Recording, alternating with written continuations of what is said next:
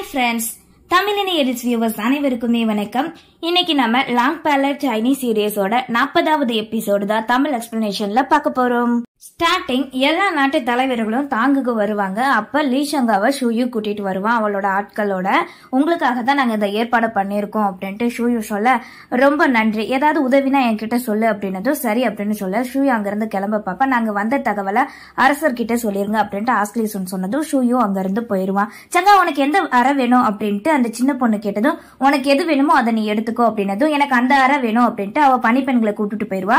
மீமி வந்து உனக்கு என்ன அறை வேணும் சொல்லு நான் க்ளீன் பண்றேன் அப்படின்ட்டு சங்கா கிட்ட கேட்க. நீ மெல்லவே எல்லா வேலையும் பாரு நான் முக்கியமான ஒருத்தரை பார்க்க போகணும் அப்படின்னு சங்கா சொன்னதும் நானும் உன் கூட வரேன் அப்படின்ட்டு ஆஸ்லிசுன்னு சொல்லுவான். அவளும் சிரிச்சுக்கிட்டே சரி அப்படின்னு சொல்லிடுவா. அதுக்கப்புறம் லியானா காட்டுவாங்க. அவ அந்த வீதியில நடந்து வந்துகிட்டு இருக்கிறப்ப ஷூயும் குதிரையெல்லாம் ஒரு வீரனோட போவான். ஒரு இடத்துல நிக்க நம்ம வந்த தகவல் அரசர்கிட்ட சொல்லணுமே அப்படின்னதும் சரி நீ வேணா ஓய்விடு நானே போய் சொல்லிடுறேன் அப்படின்ட்டு மறுபடியும் அதே குதிரையில அந்த வழியா போயிருவான். என்னாச்சு? இவங்க இவ்வளவு சோர்வா இருக்காங்க. ஓய்வே இல்லாம வேலை பாக்குறாங்க போலயே. நான் இருக்கிறது கூட தெரியலையே அப்படின்ட்டு லியான் தன்னோட பணிப்பெண் கிட்ட கேட்க பாலைவனத்துல இருந்து அரசு அதிகாரிகளை கூட்டிட்டு வந்தாங்க. அதுக்காக தான் அவர் இவ்வளவு அலைஞ்சிக்கிட்டு இருக்காரு அப்படின்னதும் அந்த முன்னாடி ஒரு வீரர் இருப்பான் அவன் கிட்ட போய் என்னாச்சு? எதுவும் பிரச்சனையா? அப்படின்னு கேக்குறப்ப இல்ல எந்த பிரச்சனையும் இல்ல. அரசு அதிகாரிகளை கூட்டிட்டு வந்ததை அரசர்கிட்ட சொல்றதுக்காக போயிருக்காரு ஷூயோ ஆனா அந்த பாலைவனத்துல யாரோ தெரிஞ்ச ஒருத்தர் இருப்பாங்க போல.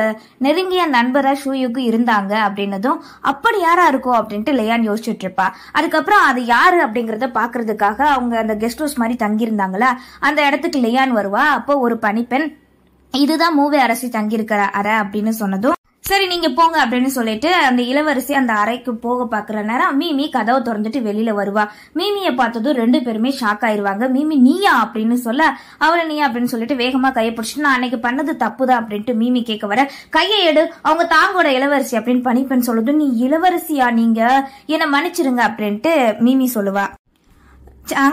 அங்காவோட தங்கச்சி தானே இவங்க? இப்போ சங்கா இங்கதான் இருக்கா அப்படின்னு இவங்க கிட்ட சொல்லலாமா அப்படின்ட்டு மீமி மனசுக்குள்ள நினைச்சுக்கிட்டு இருக்கிறப்ப நீங்க தான் மூவியோட இளவரசியா? உங்களோட நான் வந்ததுக்கு நான் வெல்கம் பண்றேன். உங்களுக்கு ஏதாவது உதவி அப்படின்னா எங்க கிட்ட கேளுங்க தயங்காம. அப்புறம் நான் அன்னைக்கு நீங்க அந்த பையில முயல் மாதிரி ஸ்டிச் பண்ணிருக்குன்னு உங்களுக்கு எப்படி தெரியும்? நான் அதை அன்னைக்கே கேட்கணும்னு நினைச்சேன் அப்படின்னதும் இல்ல என்னோட பையிலையும் அப்படிதான் இருந்துச்சு அப்படின்னு மீமி சொல்லுவா. அப்படியா அது என்னோட அக்கா எனக்கு தயாரிச்சு கொடுத்தது. என்னோட அக்கா ஞாபகம் வந்துதான் கேட்டேன் அப்படின்னதும் ரெண்டுமே ஒரே போல இருந்துச்சு அந்த பையன் அப்படின்ட்டு மீமி சொல்ல. சரி ஏதாவது உதவினா கேளுங்க அப்படின்னு சொல்லிட்டு மறுபடியும் நீங்க ஓய்வெடுங்கன்ட்டு லியான் அங்கிருந்து போயிருவா. மீமி அந்த அறைக்குள்ள வருவா. ஆனா அவளால் மனசு கேட்காது. சே உண்மையை சொல்லிடலாம். சங்கா இங்கதான் இருக்கா அப்படின்னு நினைச்சிட்டு வெளியில வேகமா வர அதுக்குள்ளேயே லியான் அந்த ரதத்துல ஏறி போயிருவா. வாசல் கிட்ட வந்துட்டு ஐயோ போயிட்டாங்களா? சரி இப்ப அப்புறம் பாத்துக்கலாம். அப்படின்ட்டு அவ திரும்புவா. மீமி வந்து நின்னது போனது எல்லாமே சுகி வீரன் ஒருத்தன். இளவரசி கிட்ட பார்த்துட்டு இதை சொல்லணும் அப்படின்ட்டு வேகமா அங்கிருந்து போவான். தன்னோட அறையில உட்காந்து லியான் யோசிச்சுட்டு இருக்கிறப்ப பனிப்பெண் வந்துட்டு என்னாச்சு? ஏன் ஒரு மாதிரியா இருக்கீங்க? அப்படின்னு கேட்டதும் இல்ல அந்த மூவி அரசியை பார்த்ததும் எனக்கு சங்கா ஞாபகம் வந்துச்சு. எனக்கு என்ன என்னமோ சங்கா அவ கூட இருக்கிற மாதிரியே தோணுது அப்படின்ட்டு மனசுக்குள்ள சொல்லிக்கிட்டு இருப்பா. சரி ஷூயோ அரசு இங்கதான் இருக்காரு. நீங்க அவரை பார்க்க போறீங்களா? அவர் இன்னும் ஓய்வெடுத்துக்கிட்டு தான் இருக்காரு அப்படின்னதும் இல்ல அவர் ஓய்வெடுக்கட்டும் நான் பார்க்கல அப்படின்ட்டு லேயான்னு சொல்லிடுவா அதுக்கப்புறம் ஆஷ்லேஷனையும் சங்காவையும் காட்டுவாங்க. அவங்க ஒரு இடத்துக்கு வந்திருப்பாங்க. இது என்ன இடம் அப்படின்னு கேட்டதும் இதுதான் எங்க அம்மா ஓய்வெடுக்கிற இடம் இங்கதான் பத்திரமா இருக்காங்க அப்படின்னதும் அப்படியா என்னை கூட்டிட்டு வந்ததுக்கு ரொம்ப நன்றி அப்படின்னு சொல்லிட்டு தன்னோட ட்ரெஸ் எல்லாம் சரி பண்ண என்ன பண்ற நீ? அப்படின்னு கேட்டதும் நான் முத முதல்ல அவங்கள பார்க்க வரல. அவங்களுக்கு என்ன பிடிக்கணும்ல அப்படின்னு சொல்லிட்டு அவ கைய பிடிச்சு அங்க உள்ளக்க கூட்டிட்டு போவான் ரெண்டு பேரும் அவங்க அம்மாவோட நினைவிடத்துக்கு முன்னாடி போய் நிப்பாங்க. உங்க அம்மாவை யாரோ இங்க நல்லா கவனிச்சுக்கிறாங்க. பழங்கள் பூக்கள் எல்லாமே ஃப்ரெஷ்ஷா இருக்கு அப்படின்னு சொன்னதும் ஆமா எங்க அம்மாக்கு இவ்வளவு மரியாதை கிடைக்கும்னு நான் இங்க நினைச்சு கூட பார்க்கல. ஒண்ணு இது லியானா இருக்கும் இல்ல ஷூவா தான் இருக்கும் அப்படின்னு சொல்லிக்கிட்டு இருப்பா.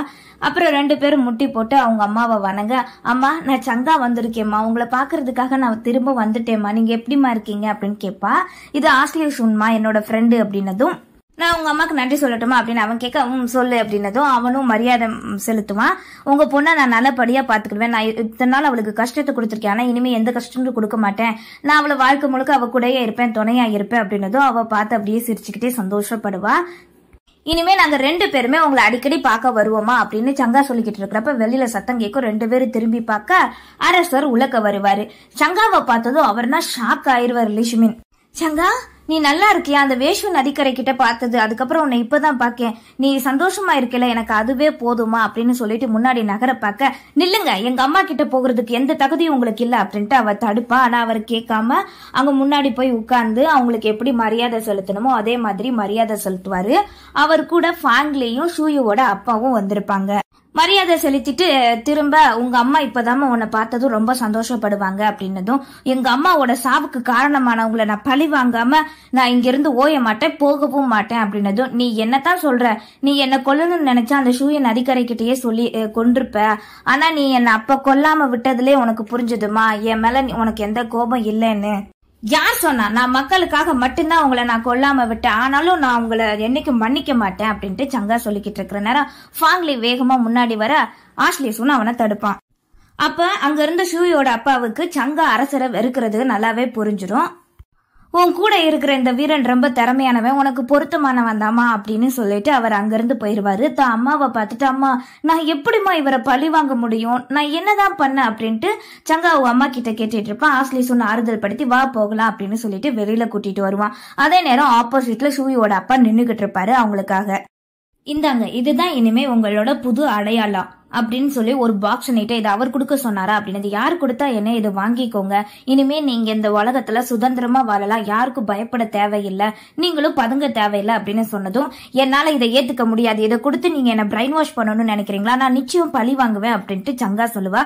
நீங்க பழி வாங்கணும் அப்படின்னு நினைச்சா நீங்க என்னைக்கும் பழி வாங்கியிருப்பீங்க. உண்மையான குணம் உங்களுக்கு அது கிடையாது. நீங்க பழி வாங்கணும்னு நினைக்கவே இல்லை அப்படின்னதும் அவனா அமைதியா இருப்பா உடனே அதை அவர் பயன்படுத்திக்கிட்டு மறுபடியும் நீங்க மூவேயோட இளவரசியாவே இருந்திருக்க போறீங்களா? என்ன? அப்படின்னு கேட்க நான் இங்க வந்ததுக்கான காரணமே மக்கள் எல்லாரும் அமைதியா இருக்கணும் நிம்மதியா இருக்கணும். இந்த போர் எதுவுமே வரக்கூடாது. அதுக்கு ஒப்பந்தம் பேசணும் சமாதானமாகணும். அதுக்காகத்தான் நான் வந்தேன். அப்படிங்கிறப்ப ஒப்பந்தம் பேசலாம் சமாதானம் பேசலாம் எல்லாரும் ஒன்னா கூட்டு சேர்ந்தா ஆஸ்திரேலிய நாடு எதுக்கெல்லாம் போர் வராது நீங்க நினைச்சுக்கிட்டு இருக்கலாம். அது உண்மைதான். ஆனா சும்மா வெறும் செய்கையால மட்டுமே இது இருக்கிற உள்மனதுல இருந்து நட்புங்கிற ஒரு உணர்வு வேணும். அந்த உணர்வை வச்சு எல்லாரும் ஒன்னா சேர்ந்து கூட்டணி வச்சுக்கிட்டா மட்டும்தான் இது முடியும் அப்படின்ட்டு ஷூயோட அப்பா சொல்ல நம்ம முயற்சி பண்ணி பார்க்கலாமே அப்படின்ட்டு சங்கா ஆஸ்லேஷன் ரெண்டு பேரும் ஒரே போல சொல்லுவாங்க. சரி அதை விடுங்க. நீங்க இப்ப எதுக்காக அரசர் மேல இவ்வளவு கோபமா இருக்கீங்க? அவர் உங்க மேல எவ்வளவு அன்பு வச்சிருக்காரு தெரியுமா? அப்படின்னதும் நீங்க என்ன சொல்ல வரீங்க? அவர் போலியான வேஷம் போடுறாரு அது உங்களுக்கு தெரியலையா? அப்படின்ட்டு ஷூயோட அப்பா கிட்ட கேட்க இல்ல நீங்க தப்பா புரிஞ்சுக்கிட்டு இருக்கீங்க. நான் உங்களுக்காக ஒரு கதை சொல்றேன். கொஞ்ச நாள் நான் உங்களுக்கு வாத்தியாரா இருந்திருக்கேன். அதனால நான் சொல்றது உங்களுக்கு புரியும்னு நினைக்கிறேன் அப்படின்னு சொல்லிட்டு சொல்லுவாரு. உங்க அப்பாவை அரசர் கொல்ல நினைக்கிறாரு அப்படின்னு உங்க அப்பாவுக்கு எப்படி தெரிய வந்தது அப்படின்னு கேட்க உளவாளிய வச்சு பார்த்திருப்பாரு அப்படின்னு சங்கா சொல்லுவா. அதுதான் இல்ல. அப்படின்னா நீங்க என்ன சொல்ல வரீங்க? அப்போ அது அப்படின்ட்டு சங்கா தயங்க நீங்க நினைக்கிறது சரிதான். உங்க அம்மா தான் இது எல்லாத்துக்குமே காரணம்.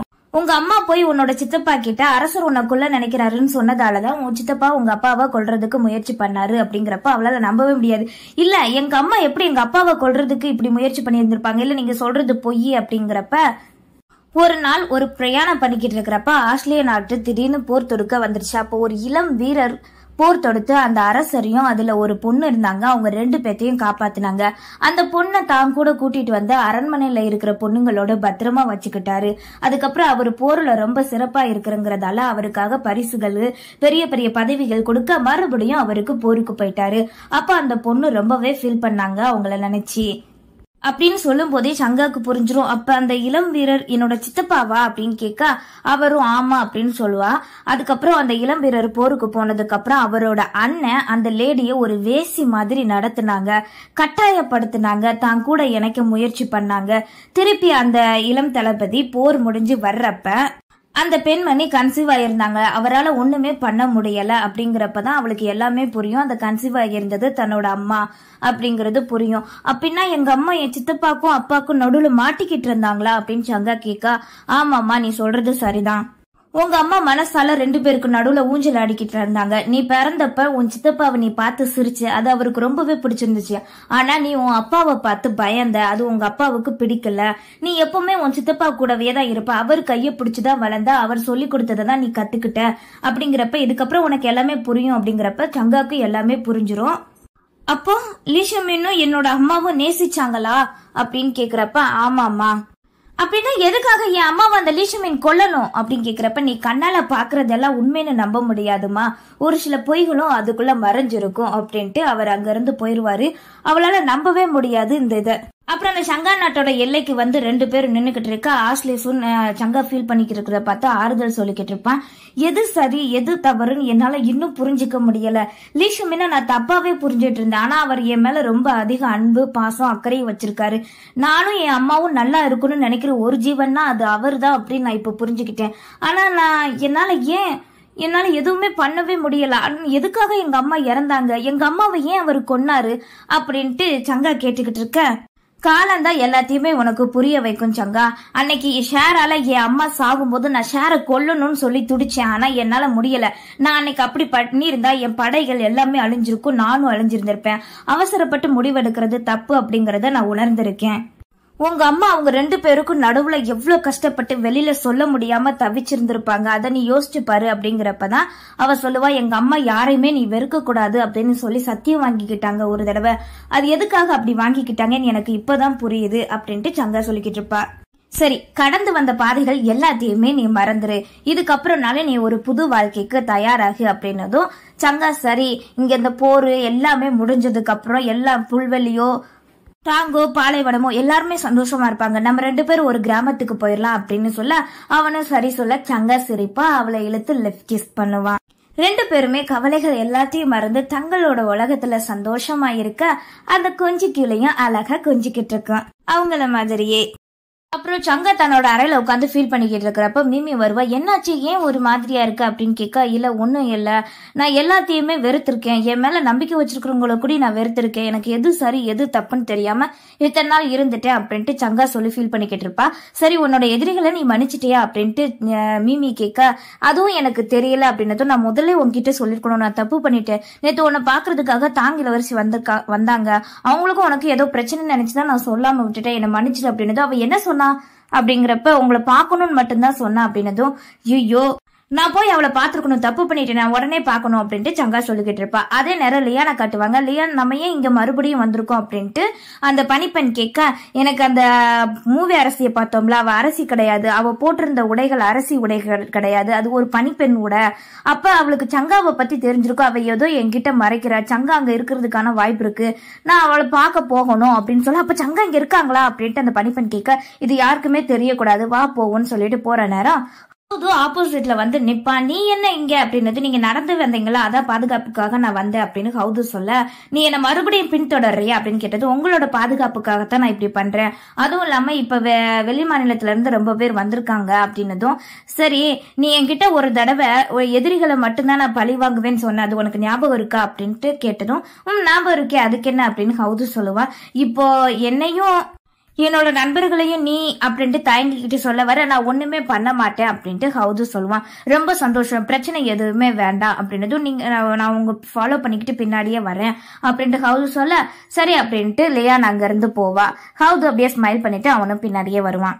சங்க நானும் வரேன் நில்லு அப்படின்ட்டு மீமி சொல்ல நான் போயிட்டு சீக்கிரமே வந்துருவேன். இப்ப மட்டும் நீ என்னை கூப்பிட்டு போலன்னா நான் ஆஸ்லேசன் கிட்ட சொல்லிடுவேன் அப்படின்ட்டு மீமி சொல்லிக்கிட்டு இருக்கிறப்ப என்ன நடக்குது? அப்படின்ட்டு ஆஸ்லேசோனே அங்க வருவான். நான் தாங்க அரண்மனைக்கு போறேன் லியானை பார்க்க போறேன் அப்படின்னதும் லியான் அங்க வந்து நின்றுவா. சங்கா லியான் அப்படின்ட்டு ரெண்டு பேருமே அசத்தீர பார்த்து தோழிகளான ரெண்டு பேருமே பார்க்க வராததுக்கு மன்னிப்பு கேட்டு ஹக் பண்ணிக்கிடுவாங்க. அப்புறம் மீமியும் ஆஸ்லேஷோட யாரு அப்படின்னு சொல்லி சங்கா இன்ட்ரடியூஸ் பண்ண வாங்க நாலு பேர் உள்ளக்கு போய் பேசலாம் அப்படின்னு சொல்லிட்டு அப்புறம் அந்த அரண்மனைக்குள்ள கூட்டிட்டு போயிருவா. இதெல்லாம் ஹவுது வெளியில நின்று பார்த்துக்கிட்டு இருப்பான் அப்புறம் உள்ளக போனதும் எல்லாருமே டைனிங் டேபிள் உட்காந்துட்டு இருப்பாங்க. எனக்கு பிடிச்ச எல்லாருமே இங்க இருக்கீங்க. எனக்கு ரொம்ப சந்தோஷமா இருக்கு அப்படின்ட்டு சங்கா சொல்லுவா.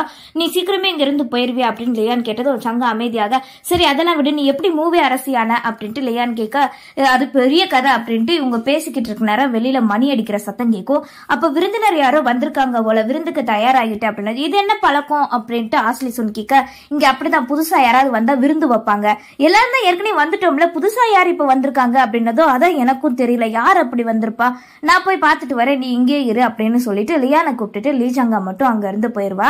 அப்புறம் ஆலோசனை கூடத்துல எல்லா தலைவர்களையும் அந்த சின்ன பொண்ணு கிட்ட பேசிக்கிட்டு இருக்க நீங்க கொஞ்சம் பொறுமையா இருங்க அப்படின்ட்டு சின்ன பொண்ணுன்னு சொல்லிக்கிட்டு இருக்கா. அந்த நேரம் இந்த ரெண்டு பொண்ணுங்களும் உள்ளக்க வருவாங்க. இளவரசி உங்களுக்கு விஷயம் தெரியுமா? ஆசிரிய வீரர்கள் அவங்க எல்லாருமே இங்க வந்திருக்காங்க. நம்ம வந்தது அவங்களுக்கு தெரிஞ்சுதான் வந்திருக்காங்க. நம்ம இங்க இருக்கிறது ஆபத்து. நாங்க இப்பவே இங்க இருந்து கிளம்புறோம் அப்படின்னு சொல்லி அவங்க கிளம்புறதுலே குறியா இருக்க நில்லுங்க நான் சொல்றத கேளுங்க. அப்படிலாம் கிடையாது அப்படின்ட்டு அந்த தாங்கோட இளவரசியான லியான்னு சொல்ல நீ யாருமா தாங்கு ட்ரெஸ் போட்டிருக்க? நீ சொன்ன நாங்க எதா இருந்தாலும் நம்பிடுவோமா?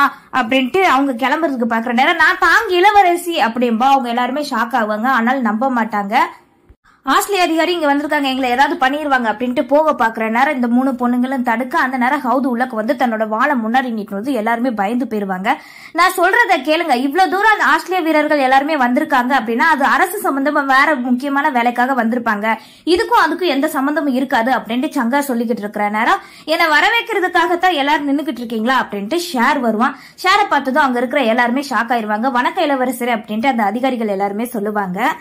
மறுபடியும் நீயா உன்னை பார்த்ததுல சந்தோஷம் தான். இப்ப என்ன புதுசா வேற வேஷம் போட்டிருக்க அப்படின்ட்டு சங்கா முன்னாடி வந்து நின்று ஷேர் சொல்லிக்கிட்டு இருக்கிற நேரம் பார்த்தையா இங்க இருக்கிற எல்லாருமே எங்களை நினைச்சாலே ஒரு கோலை மாதிரி பயப்படுறாங்கல்ல?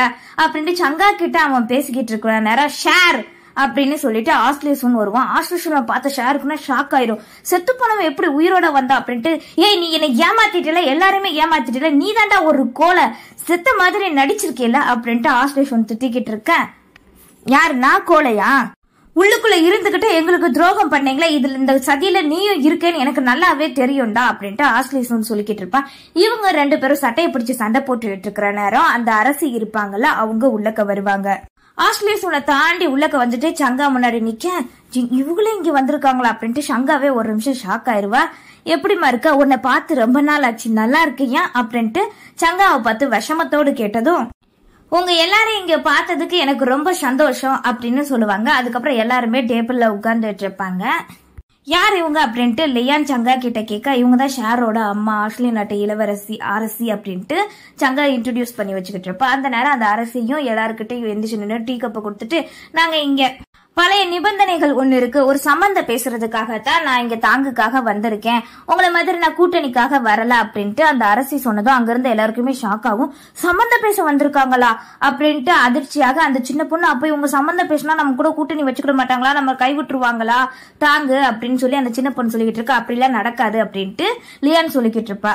சரி லீசங்கா சொல்லிக்கிட்டு இருப்பா ஹவுது நீ லியான் இங்க கூட்டிட்டு போ? அப்படின்னதும் சரி அப்படின்ட்டு ஹவுது இல்லையா நான் இருந்து கூட்டிட்டு போற நேரம் அந்த அரசி தடுக்க வர வேகமா எழுந்து நின்று லீச்சங்கா ஒரு நிமிஷம். நீங்க இங்க வந்ததுக்கு ரொம்ப நன்றி. நாங்களும் உங்களை வரவேற்கிறோம் அப்படின்னு சொல்லிட்டு லீச்சங்க அந்த கப்பை முன்னாடி நீட்டிட்டு குடிக்க பார்க்க நில்லு இத நீ உன்னோட மேக்கப்பாலான உன் பக்கத்துல ஒருத்தன் இருக்கான்ல அவனை குடிக்க சொல்லு அப்படின்ட்டு அந்த அரசி சொன்னதும் அவனும் எழுந்து நினைச்சு சங்கா கிட்ட இருந்த கப்பை வாங்கி அவன் குடிப்பான். பரவாயில்லையே நீ சொல்ற எல்லாத்தையுமே அவன் கேக்குறானா நல்லா தான் மயக்கி வச்சிருக்கு அப்படிங்கிறப்ப நீங்க வந்து அரசரை மயக்கி வச்சிருக்கீங்க அவர் இல்லாம நீங்க வந்திருக்கீங்கல்ல அப்படின்ட்டு ஆஸ்திரேலியா எதிர்த்து கேட்பான். அதை பத்தி பேசுற தகுதி உனக்கு இல்லை.